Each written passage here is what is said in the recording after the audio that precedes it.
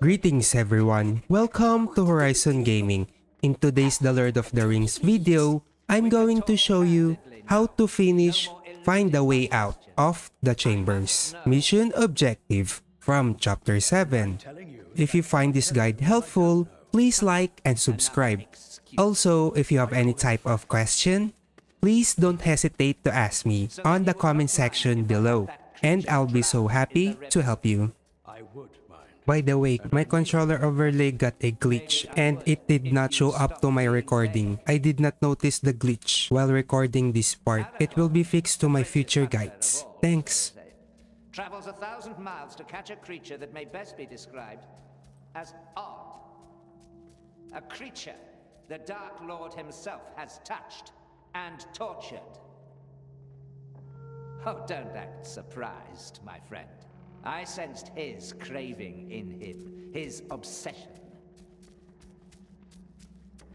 And now, Gandalf the Grey makes his rare visit to my realm.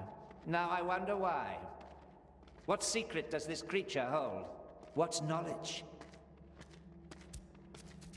I have long had dreams. Dreams that warn me of a weapon. One that the Dark Lord craves. Ah, Your silence tells me that I'm right. I would hide it in my vault, Gandalf.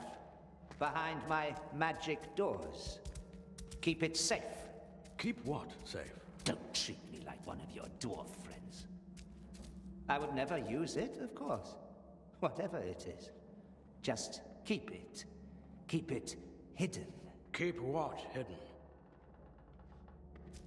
Do you doubt our strength?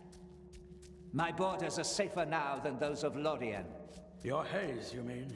Yes. I felt its powers when I entered. Beg your pardon, my king, but your realm is an island in the darkness, and your crown is made of leaves.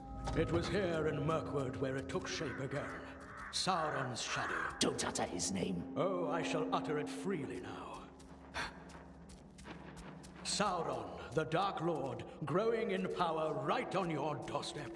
And you didn't see. The White Council freed Mirkwood from the Necromancer, not King Thranduil and his people. The White Council.